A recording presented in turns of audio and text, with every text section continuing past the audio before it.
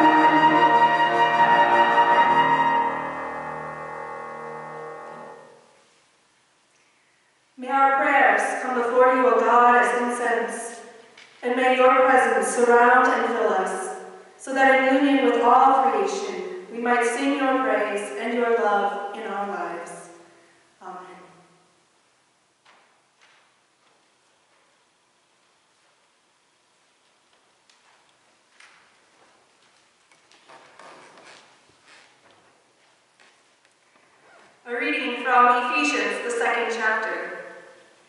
For by grace you have been saved through faith, and this is not your own doing, it is the gift of God, not the result of works, so that no one may boast. For we are what he has made us, created in Christ Jesus for good works, which God prepared beforehand to be our way of life. The light shines in the darkness, and the darkness has not overcome it.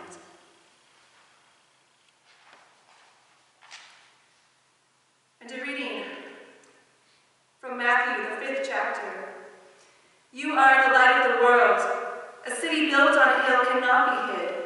No one, after lighting a lamp, puts it under the bushel basket, but on the lampstand and gives it light to all in the house. In the same way, let your light shine before others, so that they may see your good works and give glory to your Father in heaven. The light shines in the darkness, and the darkness has not overcome it.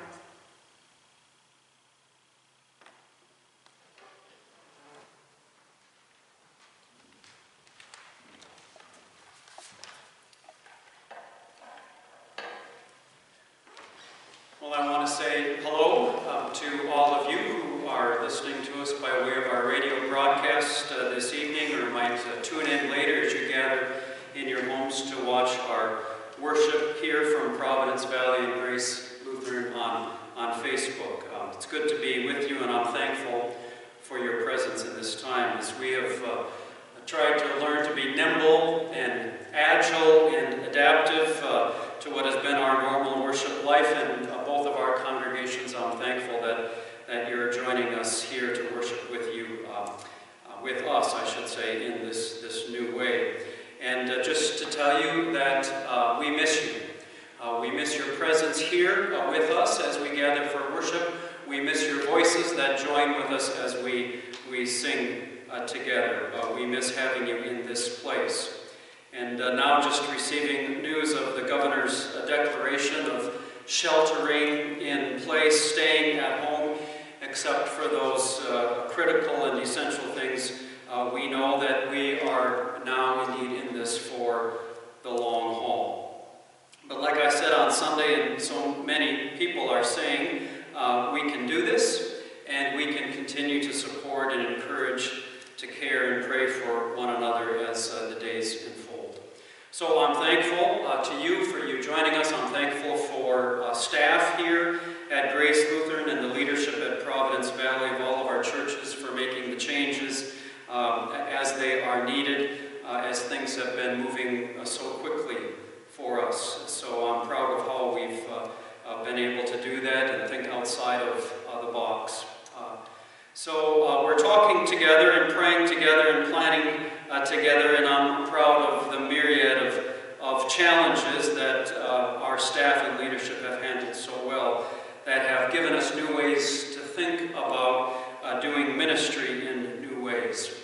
So uh, we are now moving into the fifth week of our, our study Bible and our Lent series, and so tonight we are talking about sharing.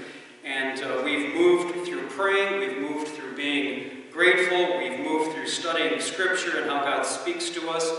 We've moved through how we serve each other and how we give, and how these things uh, really have helped us as we have maneuvered through these last weeks and these days that have been thrown upon us. And now, finally, this week, uh, to keep our focus, uh, we uh, tonight gather to learn how we are called to share, how we are called to give away our faith. And this is the culmination of our faith in Christ.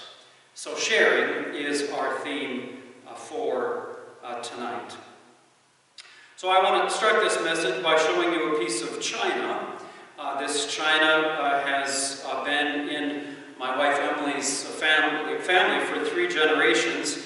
Uh, Emily's paternal grandparents bought this after World War II in, I believe, Seattle, Washington. And this uh, china used as a child with her two sisters and, and, their family to celebrate holidays with Christmas and, and Easter and, and uh, uh, uh Thanksgiving, uh, Mother's Day, never Father's Day though, but always, always Mother's Day. Um, uh, they've been using this china for almost 75 years, and so her father gave it to Emily a few years back. And so now it's been passed along to our family, and so we're able to use it for our holiday gatherings. And it has uh, an exceedingly high value to it because it was uh, made in Japan uh, while the United States were occupying Japan. So if you turn it over, it actually says uh, made in Japan under occupation.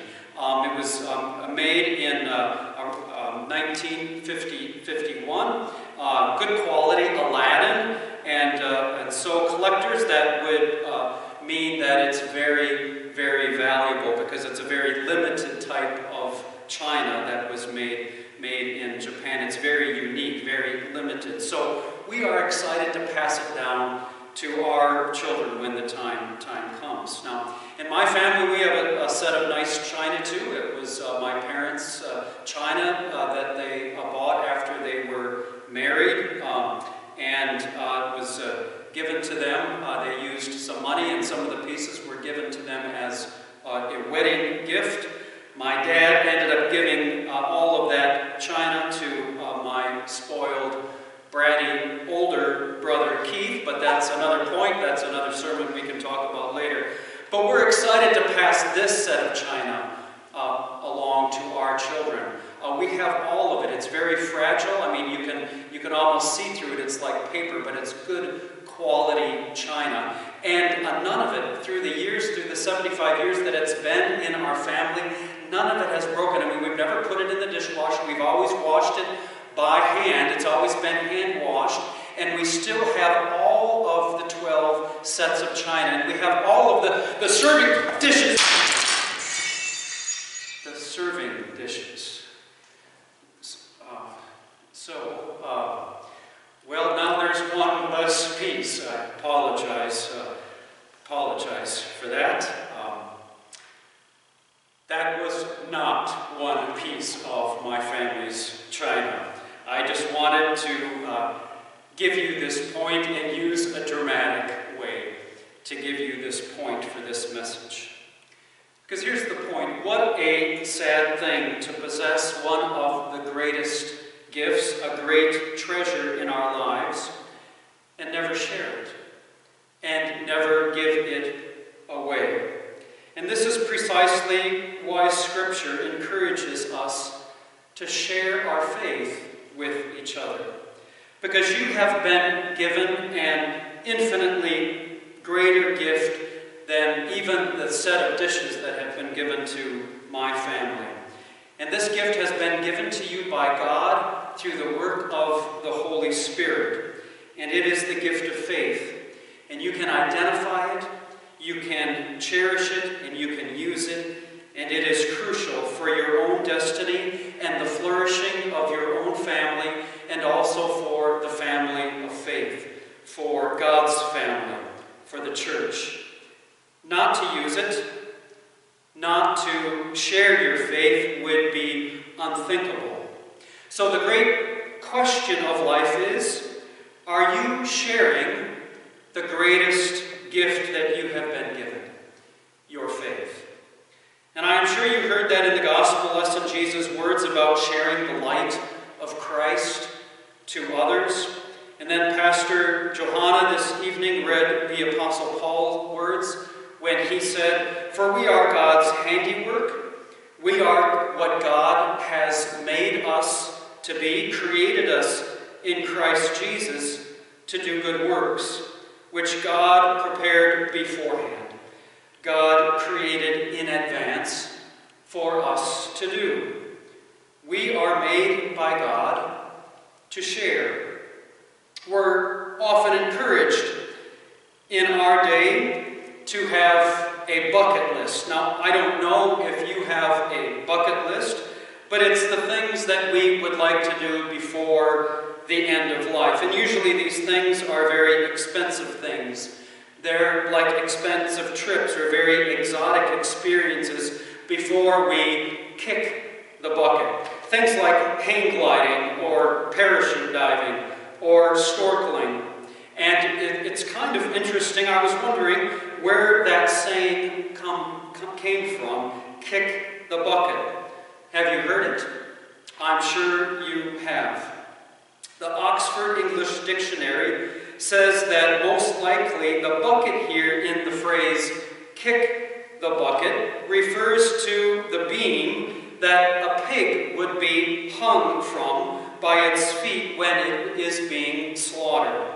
So kicking the bucket was a pig's death. Now you are not a pig. You are a follower of Jesus, and you will not be a bucket kicker. We have it on the authority of Jesus himself. Death will not be the end of your experience, but death will be the beginning, the very beginning. And the real list that matters is not the things you do or the trips you take or the places you visit. It's the service that you offer. It is the things that you share. It's the things that you give to others that are a gift from God. God made you specifically to be able to do that in a unique way by giving you treasures through the Holy Spirit. And then God called you to. And if anything, if anything in this pandemic that we find ourselves in, if we are going to survive it, we will have to survive it by sharing with one another.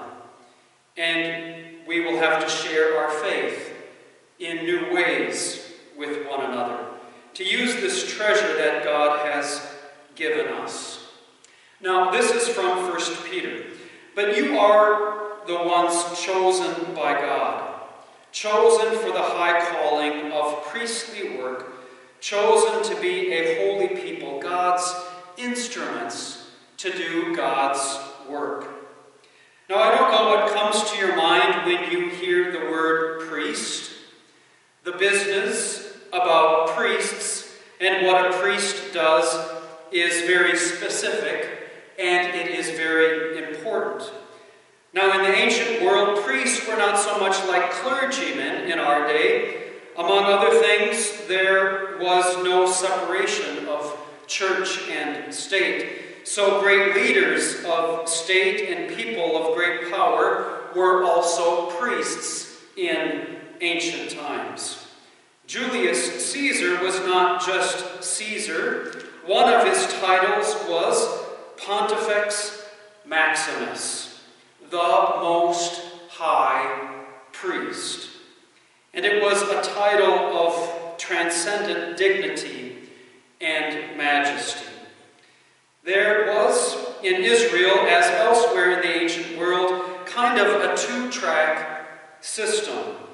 There was the regular people track, and then there was a priest track. There was a holy place where only priests could go. There were prayers that only priests could say. There were sacrifices that only priests could offer. There were clothes that only priests could wear. There was forgiveness that only priests could offer. But then Jesus comes along, and Jesus changes everything. Jesus gave himself as the ultimate sacrifice on the cross for us, for you, and for me, for our forgiveness. So, what priests had been pointing toward all along, Jesus ultimately and finally did. Now, you might think that would mean the end of the priesthood, that we don't need priests anymore, but it was actually exactly the opposite. It meant that now in Jesus' community, everybody who follows Jesus is a priest. This became known through the reformer Martin Luther as the priesthood of all believers. Peter says in Holy Scripture, You also, like living stones, are being built into a spiritual house to be a holy priesthood, offering spiritual sacrifices acceptable to God through Christ.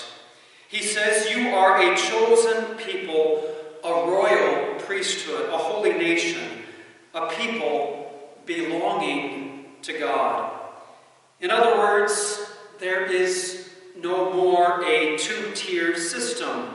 There's no more being divided up into professionals and amateurs, the priests and the non priests. The term minister was never actually used in the early church for a group of special church leaders. It came from a word that was used for just waiting on tables or serving others. Everybody was a minister. Everybody was in the game. If you are a follower of Jesus Christ, then the Holy Spirit of God is in your life, and the Holy Spirit has given you a treasure. And that treasure in you is to be used, it is to be shared with and for others.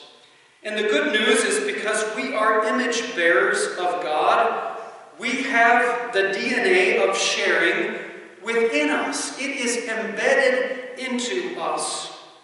Now, I remember when one of my kids was little, they had a pacifier, I don't know, probably nine months old, and they just wanted you to have the pacifier as well. Did you ever have a kid who wanted to share what they have? Uh, you're like, well, thank you, but, but no thank you. I don't need the pacifier that was just in your mouth.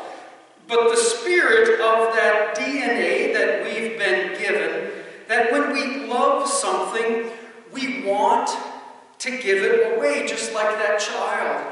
We have to give it away, or when we have something that is important, when we have something that is treasured, we want to give it away. We have that DNA because God's nature is to share. And when God's nature is in us, we are the same. Then we want to share. Generation after generation after generation. To, the be, to be the people who share, who bear witness to this generous God. It just flows out of us. So this time, this time that we currently are in will not go down in history as devastating. It will not go down in history as being overwhelmingly tragic. But this time will go down in history as a time that the Christian church and the Christian community and Christian people rose up and shared their faith. All of us all of us sharing and handing down the treasure of our faith to our children and to our neighbors and to the world, to be light and to be hope and to be life for others. Amen.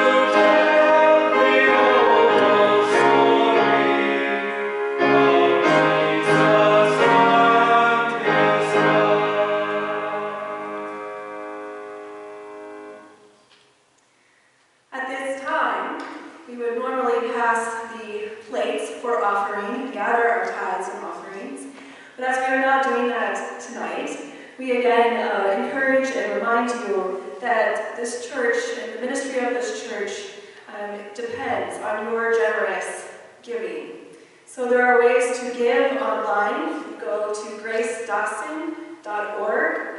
Um, there is a give app there, or give tab there, excuse me. And then there's also an app called Give Plus. Um, if you uh, subscribe to that app, then you can just log in there and give through that way. And of course, you may mail in your checks uh, to either Grace or Providence Valley Lutheran Churches.